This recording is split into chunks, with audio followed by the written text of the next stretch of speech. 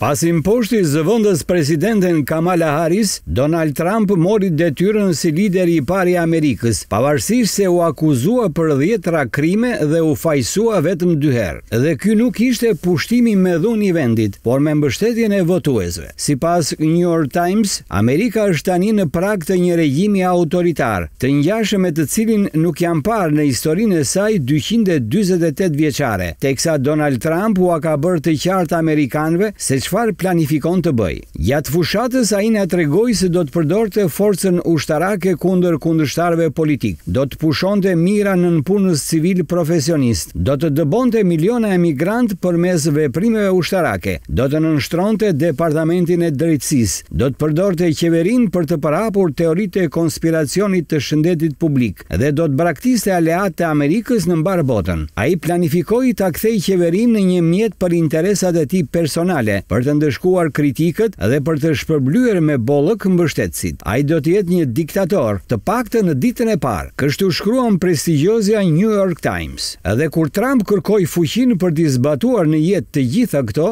votuesit amerikanë i thanë po. Ndryshe nga viti dy mijë e gjashtëmbëdhjetë kur papritur fitoi zgjedhjet, por humbi shumicën e votave, tani Donald Trump do të shkojë në Uashington me pretendimin për një mandat më të gjerë. Gjatë katër viteve të tij jashtë pushtetit, ai rindërtoi Partinë Republikane sipas imazhit të tij. Fitorja e Trump është një sfidë e drejtpërdrejtë për zyrtarët e lartë amerikanë të administratës dhe Pentagonit, të cilët kishin paralajmëruar publikisht se ai do ta shkatërronte dhe jo do ta shpëtonte kombin. Por gjithçka ndodhi kishte dhënë sinjale që më herët, pas pandemisë për të cilën kritikët argumentuan se ishte keqmenaxhuar nga administrata, vendi u bë më skeptik ndaj qeverisë. Besimi në media, besimi në shkencë, në mjekësi, në sistemin ligjor dhe institucionet e tjera bazë të jetës amerikane ra në mënyrë drastike, ndërsa gjithnjë edhe më shumë votues pranuan dyshimet që Trump kishte mbjellë prej vitesh. Opinioni publik amerikan jo pak herë është kthyer në drejtimin e platformës së tij politike për çështje që kanë qenë qendrore në jetën e tyre. Nga ana tjetër, fushata e cunguar e Kamala Harris mbështeti kryesisht status quo në administratën Biden, duke ofruar vetëm thirrje për të ruajtur demokracinë, por pa zgjidhje konkrete për të rregulluar një sistem që shumë besojnë se është i prishur. Në vend që Trump të braktiste pretendimet e rreme për vjedhjen e zgjedhjeve të vitit dy mijë e njëzet, ai insistoi në to edhe më shumë. Në vend që të zbuste retorikën e ashpër, për të cilën njihej, ai u bë edhe më i papërpunuar. Ajo që është e qartë në fund të fundit është se amerikanët e donin ndryshimin e madh dhe Trump patjetër do t'ua japë atë,